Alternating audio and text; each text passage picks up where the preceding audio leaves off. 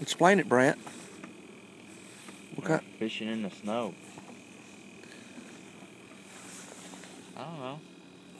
Using an ounce and a half jig to, an ounce and a half weight to keep our lines tight, and using that big old bobber to keep the weight off our big old long rods. And we got a minnow on the bottom of it, and we're just uh, trolling down the edge of the drop, waiting for a fish to bite.